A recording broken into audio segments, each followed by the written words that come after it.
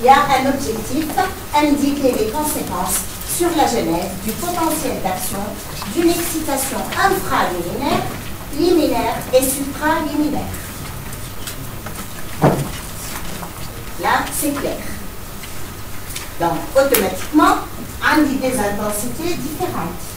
Où le transparent que j'ai fait passer, côté comme un stimulus approprié, suffisant, qui répond qu'il y a une intensité seule.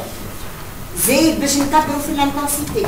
Et comme le cœur s'auto-excite, dans les conditions physiologiques, cette excitation, c'est une excitation qui a une intensité seule. Eh bien, j'ai représenté de façon très schématique ici l'intensité de la stimulation.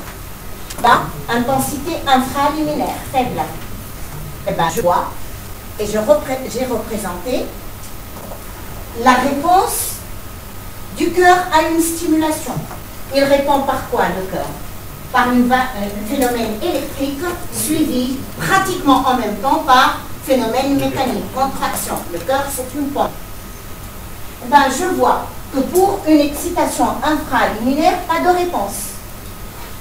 Ça montre le rôle de l'intensité. J'ai augmenté l'intensité, pas de réponse. Quand on atteint l'intensité seuil, c'est ce qu'on appelle liminaire, il y a une réponse. Mais pour le cœur, comparativement à, au muscle squelettique, or le cœur c'est un muscle squelettique, mais c'est un syncytium. Les fibres musculaires qui le constituent sont disposées de façon différente au muscle. Au muscle, une famille, C'est le muscle, quand vous stimulez le muscle, vous allez avoir une réponse, contraction. Plus vous augmentez l'intensité de stimulation, plus la contraction est grande. Allez, je le muscle, les fibres musculaires, ils vont être recrutées en fonction de l'intensité de stimulation. Et avec le muscle banal, il est tétanisable. Alors que pour le muscle cardiaque, l'intensité de stimulation n'a pas d'effet sur la réponse une intensité seuil fait naître un PA suivi d'une contraction. L'ampleur, la grandeur de la contraction n'est pas modulée par l'intensité de stimulation. Donc, conclusion Champoulou. la réponse de la cellule cardiaque est toujours la même, quelle que soit l'intensité de stimulation. Donc, on le cœur répond à la loi du tout ou rien. Or, ça ne veut pas dire que la force de contraction n'augmente pas. La force de contraction augmente. La preuve qu'on effectue des, on peut, le sujet sain effectue des efforts. Et nous avons des messagers physiologiques à action, on dit, inotrope positive, tels que les catécholamines. Là,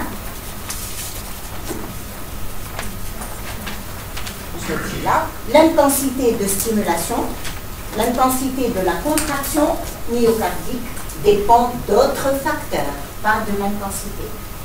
D'autres facteurs. Ces facteurs-là sont des facteurs nerveux. Le cœur reçoit une double innervation qui régule le fonctionnement de la pompe cardiaque. Une innervation sympathique et une innervation parasympathique. On verra que font le sympathique et le parasympathique. Or, le sympathique, les messagers, vous savez tous, c'est les catécholamines. Les catécholamines maroufines, action inotrope positive. Les facteurs hormonaux. Il y a des hormones qui augmentent la réponse de la cellule cardiaque. Bien sûr, réponse de la cellule cardiaque puisqu'on fait l'électrophysiologie, c'est le PA. Or, l'objectif de ce PA-là, c'est la contraction. N'oubliez pas le rôle, le rôle principal du corps, rôle de pompe. Les facteurs hormonaux, par exemple, le cortisol a une action inotrope positive. L'angiotensine 2 a une action inotrope positive. Les hormones thyroïdiennes les facteurs humoraux. Les facteurs humoraux qui modifient la, réponse du cœur Par exemple, la température. Eh ben, la température, la fièvre, elle augmente la fréquence cardiaque, mais augmente, elle a un effet inotrope négatif. D'où la surveillance nécessaire d'un insuffisant cardiaque en état de fièvre. Et on va voir comment la fièvre modifie le rythme tachycardie et a un effet inotrope négatif. S'il vous plaît, pour le moment, avec les canaux qui m'ont comme les la pompe sodium-potassium, elle est modulée par différents facteurs. Le cœur, bien sûr, est indétalisable. C'est très important, c'est vital. L'augmentation de la fréquence des simulations n'augmente pas toujours la fréquence des contractions. Voilà l'objectif 1.6.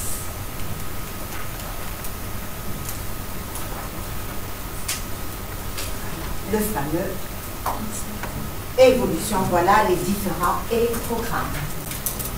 Les différents électrogrammes et leur, bien sûr, correspondance sur l'électrocardiogramme. La différence, c'est toujours des variations électriques en fonction du temps, millivolts en fonction du temps.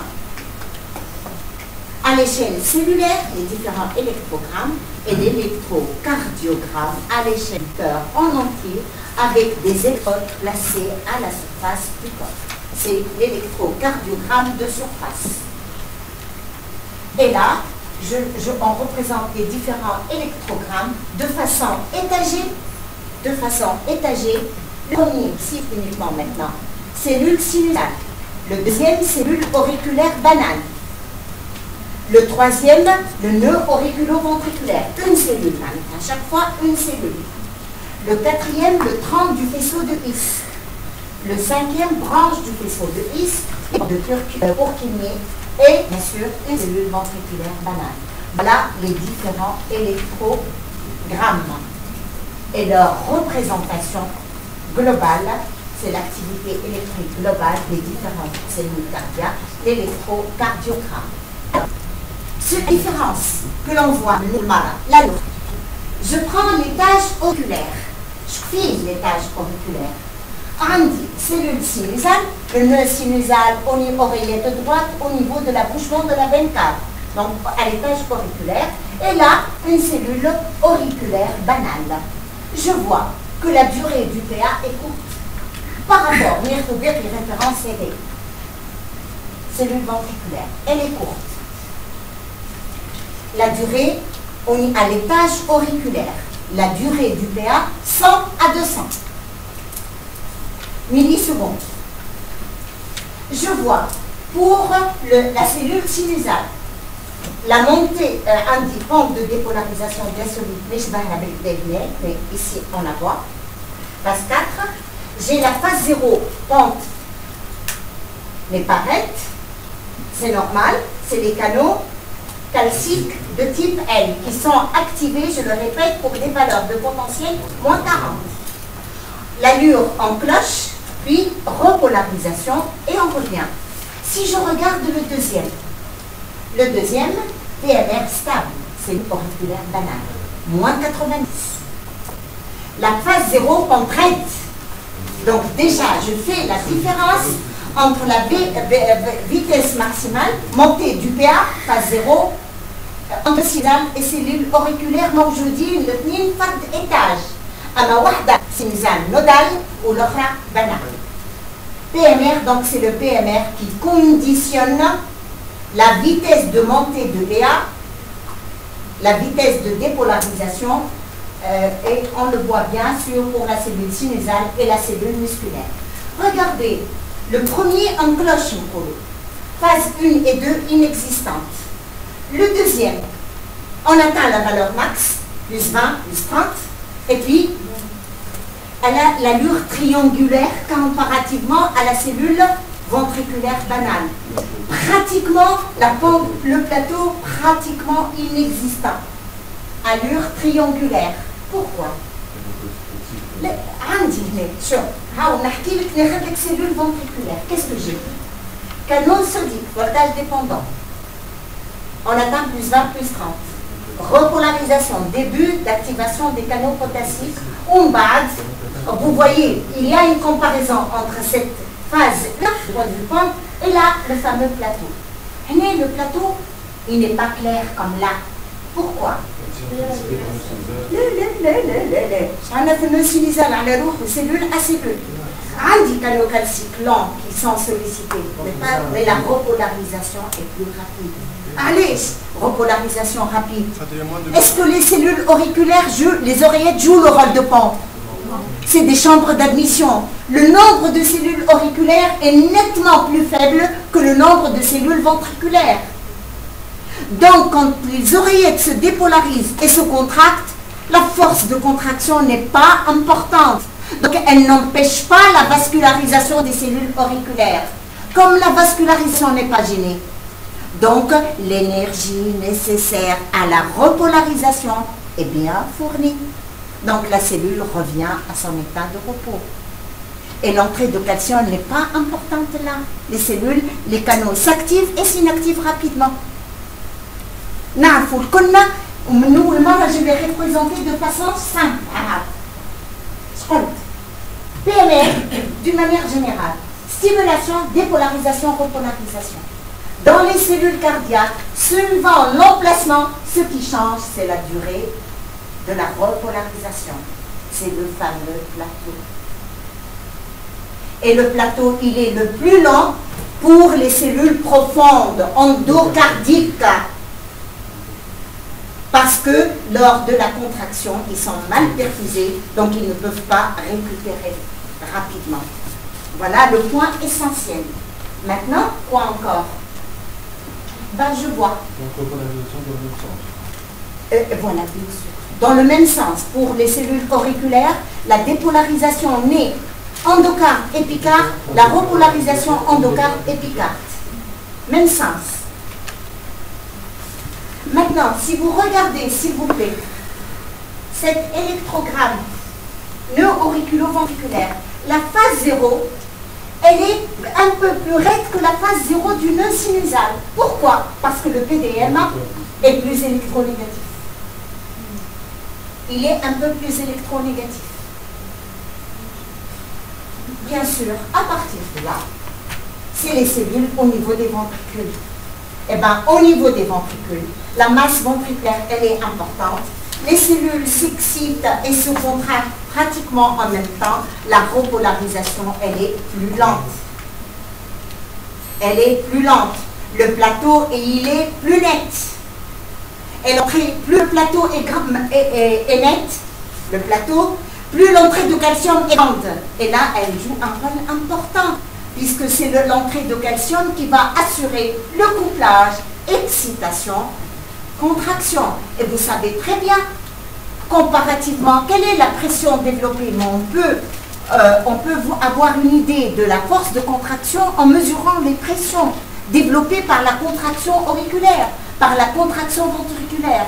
Ben, il y a une différence nette entre la pression lors de la contraction auriculaire, je prends les oreillettes, une pression qui peut varier entre 5 et 12 alors que dans les ventricules, le ventricule gauche qui joue le rôle de la véritable pompe, la pression peut atteindre 120. Je prends des valeurs de votre âge. 110, 120 mm. Nombre de cellules plus grand et il développe une pression importante à l'âge. Le ventricule gauche, il va éjecter où? Il va éjecter où? Dans la donc, dans un système résistif à haute pression. Eh bien, et regardez là, s'il vous plaît. Si vous, on essaie, voilà c'est pas très clair, mais on peut le voir. S'il vous plaît, la durée du PA à l'étage circulaire, la plus grande, la plus grande vie c'est les cellules les plus profondes, de lisse, durée plus grande, la plus lente. Bon, si on fait la comparaison, la correspondance avec l'électrocardiogramme, ben, l'électrocardiogramme, P par fois, c'est la dépolarisation d'air. QRS ventriculaire, polarisation T, c'est la polarisation ventriculaire. la repolarisation auriculaire n'est pas observée, bien sûr, elle est masquée par la dépolarisation ventriculaire et la dépolarisation aussi du nœud auriculaire.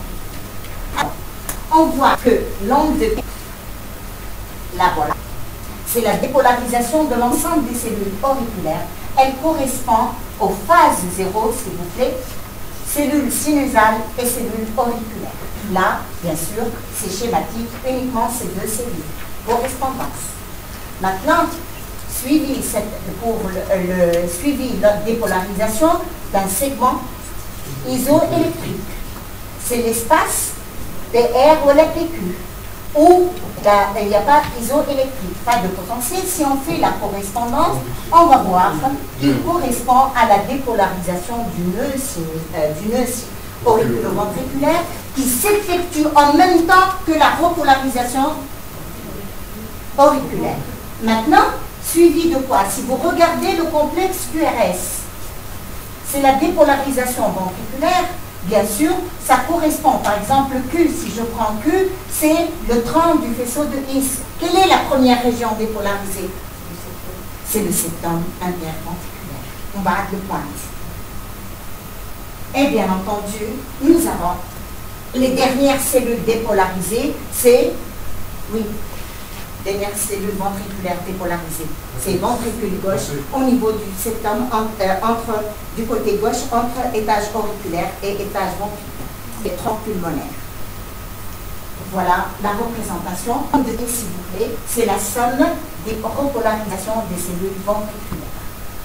Voilà d'une manière générale l'évolution de la courbe d'excitabilité aux différents étages du cœur.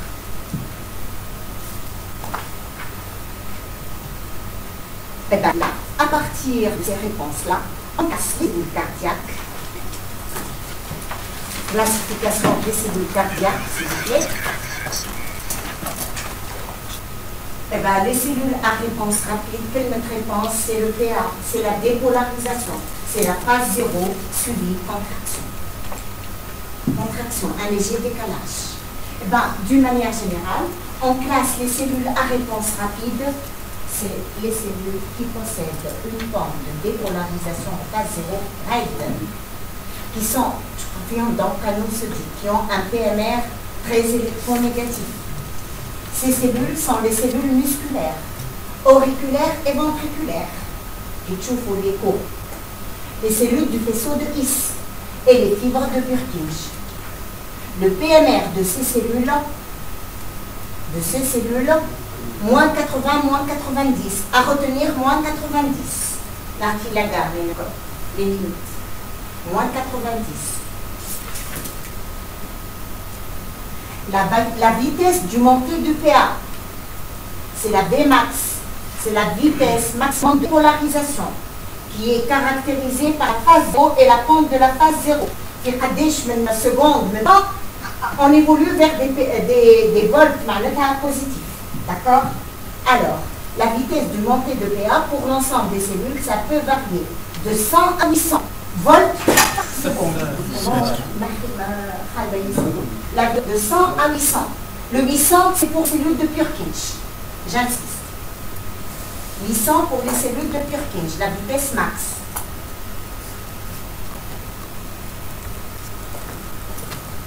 Bien sûr, maintenant, la différence pente d'un phase zéro avec la, vitesse de conduction de cellule à cellule. Je répète, quelle vitesse de conduction? C'est la conduction de l'onde de dépolarisation, même cellule 1 à cellule 2 à 3 à 4. D'accord?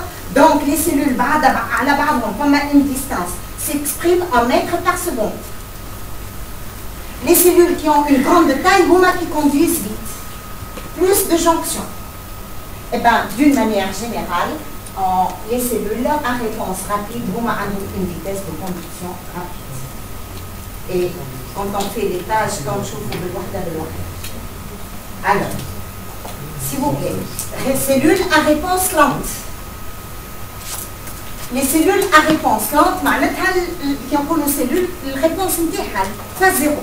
Parce qu'il y a Cellules des nœuds sinusales et auriculo-ventriculaires. Donc, les limites Les limites, j'ai mis les limites.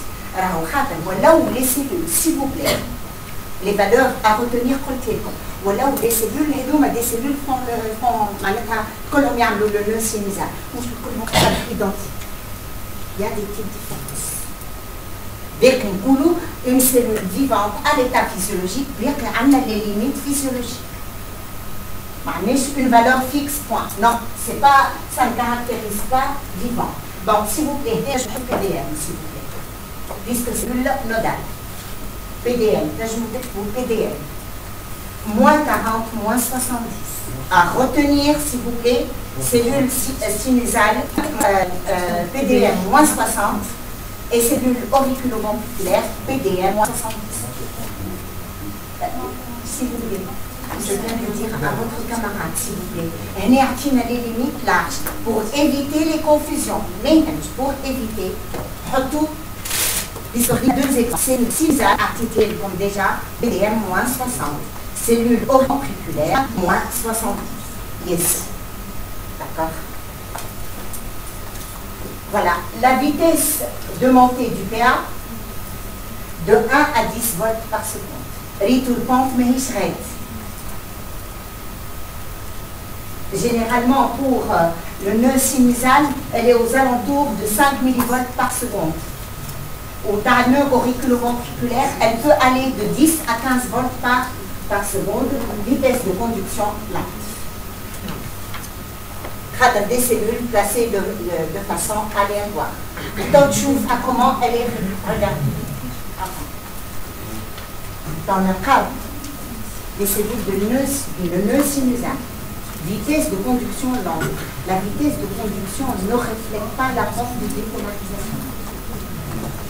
تتعدى من cellules 1 للسيلول 2 vitesse elle est lente علاش خاطر ces cellules sont des petites cellules disposées de façon aléatoire ou donc moins de jonctions et les cellules qui ont la vitesse la plus lente c'est surtout les cellules du nœud auriculo d'accord Voilà la différence.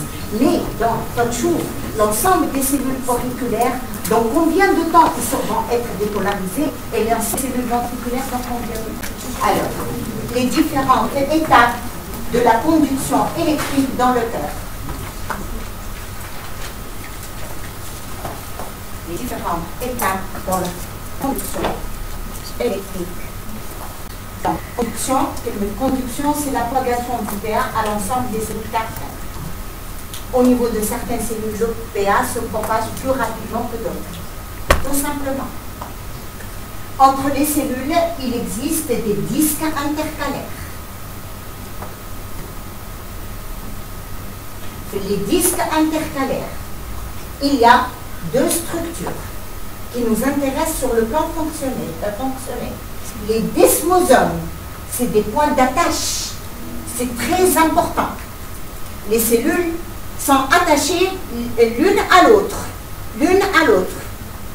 S'ils ne sont pas attachés, rattachés l'une à l'autre, quand il y a contraction, que les cellules Desmosome, point d'attache. Ce disque intercalaire ne des points de jonction. Ce sont des jonctions lacunaires et la vitesse de conduction de l'onde d'activation dépend du nombre de jonctions lacunaires. Et le nombre de jonctions augmente au fur de la grandeur de la taille de la cellule. Et la disposition agencée des cellules entre elles. Alors, les, les jonctions lacunaires de type GAP sont traversées des connexions et connexions ces protéines canal كنقولوا احنا un canal voltage ولا chimio شنو un canal c'est une protéine qui va perforer la membrane forme un canal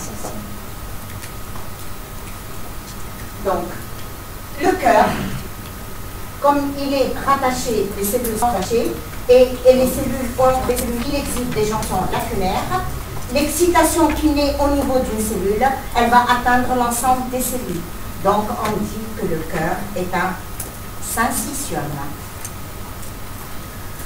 Et c'est pour cela, ça a dans le langage, on parle d'une fibre cardiaque géante, une fibre. Et généralement, sur le plan l'exploration, bien entendu. Le, cardiologue se réfère toujours, bien sûr, quand on dit pompe au ventricule.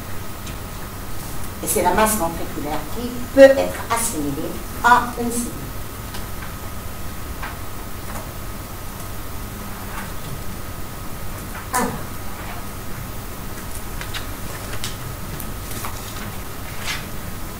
la conduction de type antérograde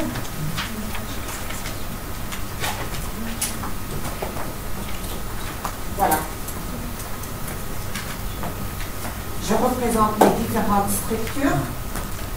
Eh bien, au temps P0 va naître un PA, une dépolarisation au niveau du nœud sinutial. Bon, s'il vous plaît, pour la dépolarisation au niveau du cœur, normal, une dépolarisation signifie PA, signifie excitation, signifie décharge. C'est la même chose autant que 0. On va voir qu'autant 0,03 millisecondes, 0,03 secondes ou 30 millisecondes, la stimulation, la dépolarisation va à le ventriculaire. 30 millisecondes le ventriculaire. Donc, assez rapidement quand même. Assez rapidement, pourquoi? Parce qu'il existe un tissu particulier qui lie le nœud sinusal, les cellules du nœud sinusal, aux cellules du nœud auriculoventriculaire. C'est un faisceau interne spécifique qui est composé de cellules assez grandes. Et plus les cellules sont grandes, plus il y a de jonctions, donc ils conduisent un peu plus rapidement. La vitesse de conduction à travers ces vaisseaux internes formés par un tissu spécialisé, antérieur, postérieur et médian, la vitesse peut atteindre 1 mètre par seconde. On voit que, bien entendu, on voit qu'il y a aussi un faisceau interauriculaire, la même vitesse, la même vitesse, et les cellules auriculaires gauches qui se trouvent à côté de, euh, euh, cette intersection, elles, sont dépolarisées au, au bout de 30 millisecondes. Et l'excitation, elle va se propager les taches auriculaires ou que l'excitation se propage comme une tache d'huile, comme une toile d'araignée, sous forme d'ondes circulaires. Et les dernières cellules, la totalité des cellules auriculaires se dépolarisent, dans mon exemple là, au bout de 90 millisecondes. Or, on va comparer les tâches ventriculaires. On va comparer les tâches ventriculaires et bien sûr la comparaison va être nette. Aucune comparaison entre le nombre de cellules auriculaires et ventriculaires. Par exemple, l'excitation, elle atteint le nœud auriculo-ventriculaire au bout de 30 millisecondes. Mais elle ne passe au niveau du faisceau de His qu'au niveau, au bout de 60 millisecondes. Donc il y a un retard. Le, nœud auriculoventriculaire joue le rôle de filtre, car ce nœud auriculoventriculaire, il est formé par des cellules qui sont petites, de taille, moins voltées, le nombre de voltage c'est moins 70, disposées de façon aléatoire et le nombre de jonctions est faible. Il a la vitesse de conduction la plus faible. Et les jonctions, même elles sont résistantes. Bon, dit une jonction, mais je m'écoute, on dit 10 jonctions. Qui تبدا Bon, je dis les jonctions les femmes ont une qualité de la perméabilité de la jonction pour nous les, les jonctions présentent une certaine résistance et au niveau du nœud auriculaire euh, auriculo-ventriculaire la résistance la perméabilité est faible grande résistance au passage de longues perturbations ce, retard-là, il est observé sur le, euh, on l'observe sur l'électrocardiogramme et il a une signification importante. Il a une durée de 0,12 secondes à 0,220 secondes. Il est représenté par l'intervalle PR ou PQ. Et plus cet intervalle augmente, plus la vitesse de conduction elle est ralentie. Et il peut y avoir même à arriver à avoir un bloc au niveau auriculo-ventriculaire où on va avoir un rythme auriculaire sinusal et un rythme audio-ventriculaire. Cet, cet intervalle-là, il est très important. Sur le plan physiologique, quel est l'intérêt de ce retard-là Le rôle de filtre, c'est de, voilà, de terminer le remplissage ventriculaire, qui le remplissage ventriculaire? Se termine grâce à la contraction des oreillettes, qui sur la courbe hémodynamique est représentée par une fameuse onde A sur la courbe de pression auriculaire. Maintenant, la vitesse, l'angle d'activation atteint le vaisseau de His, on voit qu'elle passe à la pointe de façon très rapide. 0,16, 0,17, elle est pratiquement au niveau de la pointe 0,18, pointe du cœur. Et là, quand la dépolarisation atteint la, pointe, bien entendu, à la lente Q, eh ben, il va y avoir un soulèvement et ça va créer une onde de choc. Et c'est un l'indice, la première composante audible du bruit B1. Donc, voilà. Ensuite, la dépolarisation, elle va aller vers, être distribuée vers l'ensemble des cellules ventriculaires et elle, euh, elle va mourir au niveau de l'étage euh, entre oreillette et ventricule. Et s'il vous plaît, si vous faites le petit calcul, la première cellule ventriculaire dépolarisée, c'est au bout de 0,16. Et la dernière dépolarisée au bout de 0,22. Si vous faites la différence, vous trouvez 60 millisecondes. Oui ou non? En millisecondes. Pour les cellules auriculaires, l'ensemble des cellules auriculaires, c'est 90 millisecondes. Regardez, vu la masse, la rapidité de la vitesse de conduction. Car la masse, le nombre de cellules myocardiques qui reconstituent le ventricule est nettement plus important, mais les cellules sont bien agencées. C'est des grandes cellules. Et même le tissu conducteur, le faisceau de His et le réseau de Purkinje est constitué par des cellules géantes à vitesse de conduction rapide. Voilà d'une manière générale le cheminement de l'angioplastie au niveau du cœur. Je crois qu'il y a une petite euh, remarque à faire. Voilà, La conduction au niveau des oreillettes.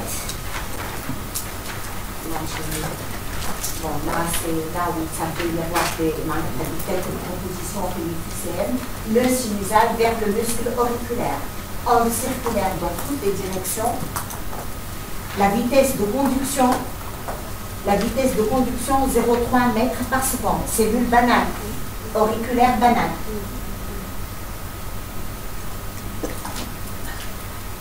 Le nœud sinusal vers le nœud auriculo-ventriculaire, les faisceaux internodaux, antérieur, médian et postérieur.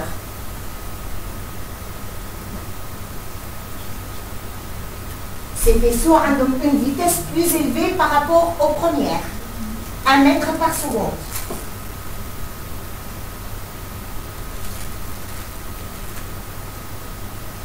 Ces cellules, ces vaisseaux internes doux sont formés par des cellules qui sont mêlées aux cellules auriculaires et qui ressemblent, bien sûr, je ne dis pas à Purkinje, vu la vitesse n'est pas la même, qui ressemblent de point de vue agencement aux cellules de Purkinje je l'ai montré sur mon schéma, un vaisseau interauriculaire antérieur entre oreille droite et oreille gauche.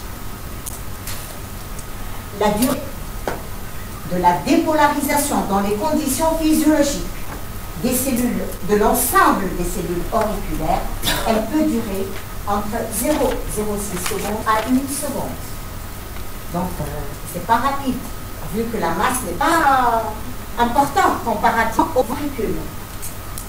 La dépolarisation et la repolarisation se font dans le même sens, endocarde épicarde, ou chauffnalish. Car lorsque les se contractent, ne développent pas une tension importante. La vascularisation des cellules oculaires n'est pas gênée par la contraction.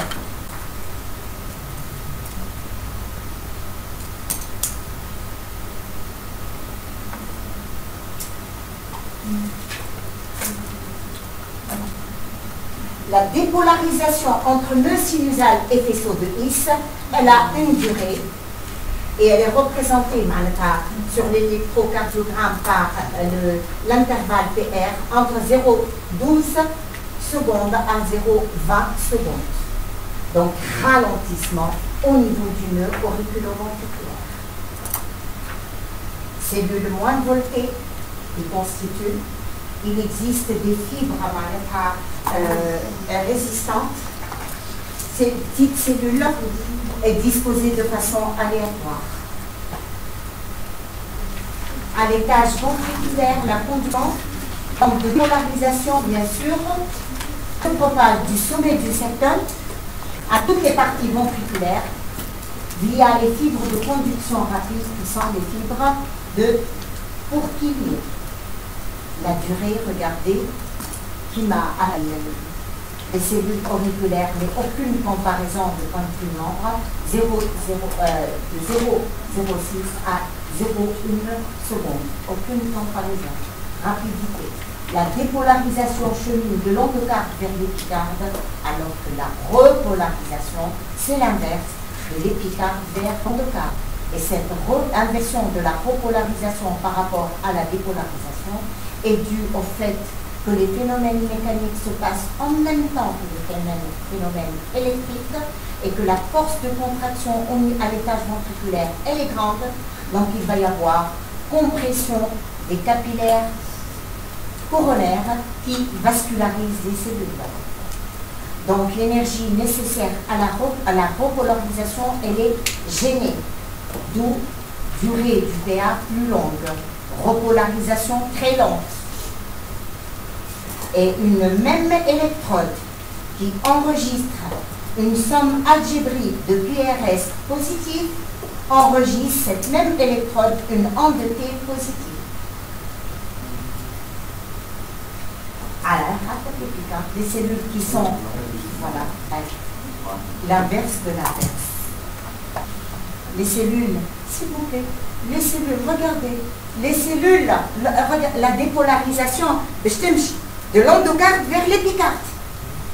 Donc les cellules en profondeur. Comme ma contraction, Donc la repolarisation, elle va être ralentie. Dépolarisation tarde les cellules épicardiques. Ces cellules épicardiques, il n'y a pas de gène important. Donc vont commencer à se repolarisation. Je dois lire. Repolarisation, je Donc l'électrode qui enregistre. L'électrode qui voit la dépolarisation arrivée vers elle ou dépolarisation chenille.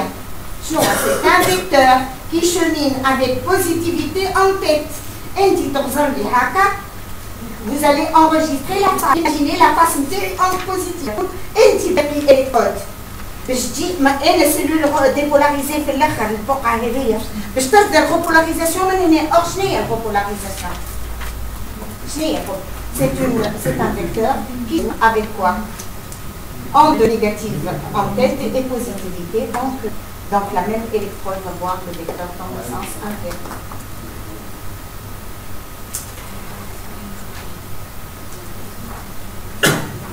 Alors, au niveau du ventricule, quand même, je le dis, voilà où c'est écrit Haka, la navigation commence du côté gauche.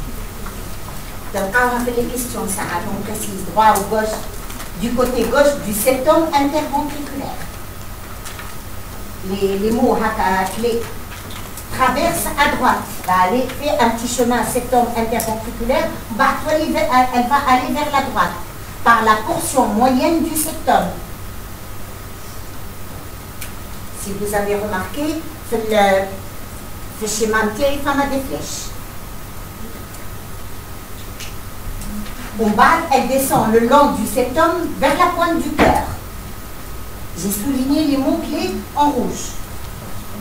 Puis, l'onde de dépolarisation, elle va remonter le long des parois ventriculaires jusqu'à arriver au niveau du sillon auriculo-ventriculaire. Mon V, c'est ventricule.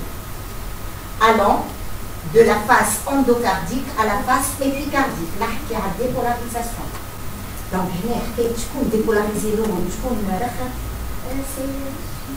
Vous le savez, normalement.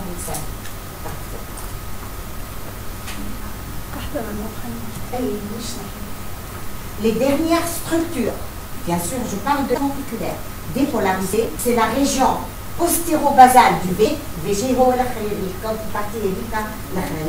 le col, le col pulmonaire est la portion la plus haute du secteur.